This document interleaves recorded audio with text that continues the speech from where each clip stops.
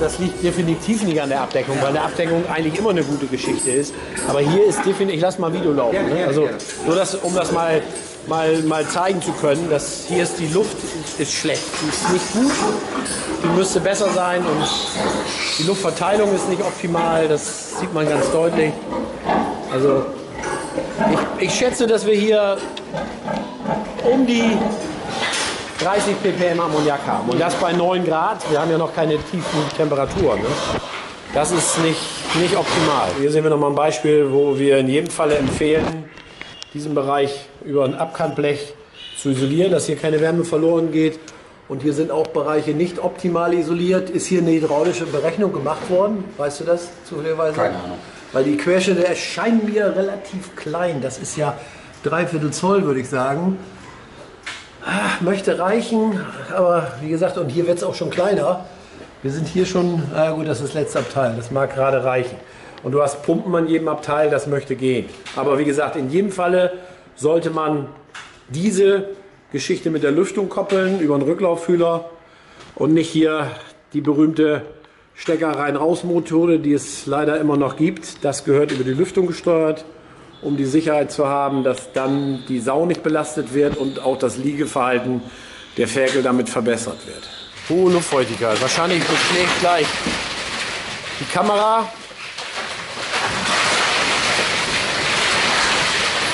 Ja, sehen wir schon, Kamera beschlägt.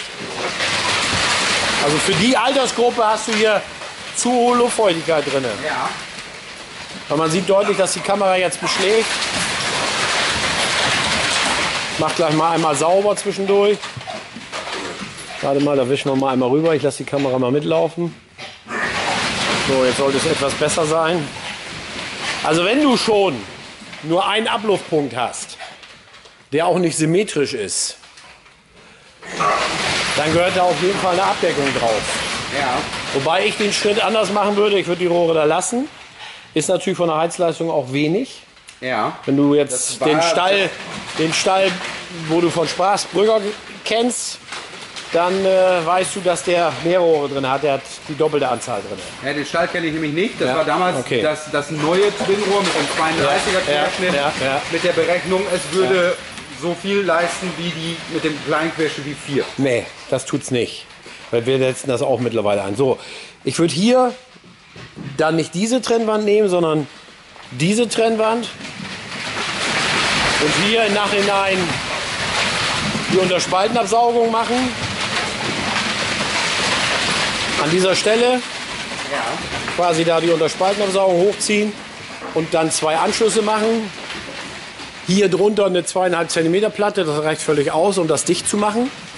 Und dann hier in dem Bereich einen Lochplattenkanal. Hier muss in jedem Fall ein Lochplattenkanal rein. Wobei wir müssen mal gucken, die Buchten sind noch nicht so tief. Vielleicht geht das sogar mit dem Schlitzkanal. Das ist etwas einfacher, zeige ich dir gleich nochmal. Das will dieser Schlitzkanal nicht ausreichen. Nein, nein, nein. Das ist auch keine Lüftung. Das ist, äh, keine, das ist keine Lüftung. Wenn ich jetzt hier, ohne zu messen, hier ist die Luft etwas besser wie im Abferkelstall. Aber ich sag jetzt mal, weit weg von 20 ppm bist du auch nicht. Und das in der Altersgruppe, die äh, sind jetzt 8, 9, 10 Kilo, ne? Ja. So in der Richtung. Und der ist ja nicht unterbelegt, der Stall. Hier müsste die Luft auch besser sein. Hier, hier, ist, hier ist unterbelegt tatsächlich. Ja, aber die Luft, die Luft ist aber auch nicht gut. Ne? Das Nein, merkst du nein. deutlich. Ne? Das merkst du deutlich. Also ohne zu messen sind wir hier vom, vom äh, Ammoniakwert definitiv zu hoch. Ich muss noch warten, bis die Kamera sich warm stellt. Also, so, ich habe mich eben gefragt, was das denn hier ist. Wir reden hier von einer Paneele, circa zweieinhalb Zentimeter.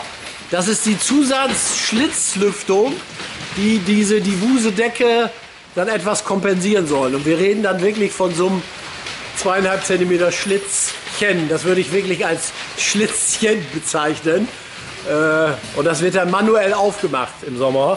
Und abends natürlich rechtzeitig wieder zugemacht. Äh, ich bin jetzt ein bisschen iro- ironisch dabei. Tut mir leid, dass ich das bin, aber das kennt ihr ja alle. Dass ich hin und wieder mal ein bisschen ironisch bin. Ja, es ist schade, es ist ein super Stall, der ist richtig gut, von der Buchtenstruktur gefällt mir sehr gut.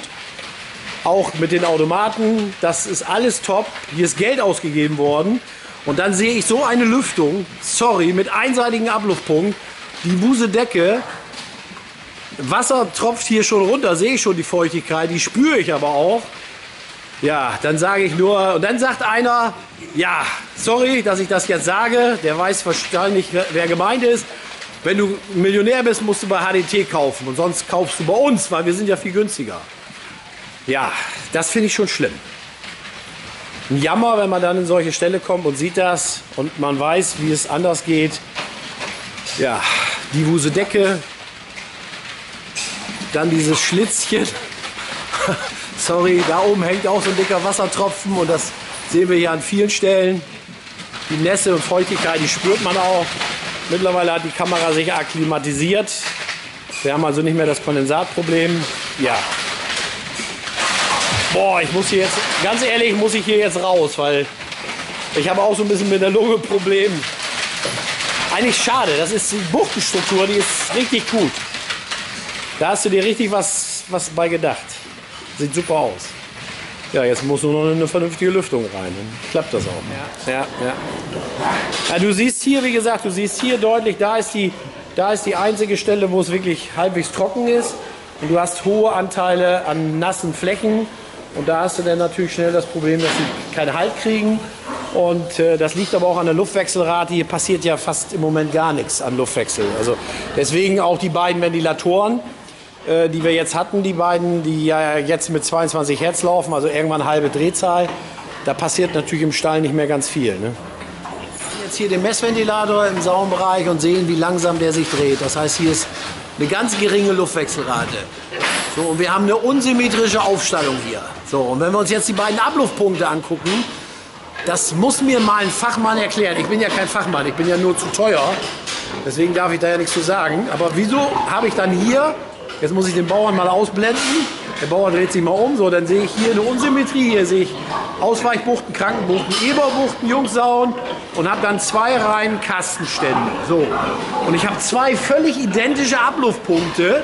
Das heißt, ich habe da einen Abluftpunkt, der ist genauso groß wie der Abluftpunkt. So, das wird es bei uns niemals geben. Das heißt, ich habe hier eine gewisse Menge abzusaugen, relativ wenig. Wir sehen, hier ist jetzt nur geringe Belegung.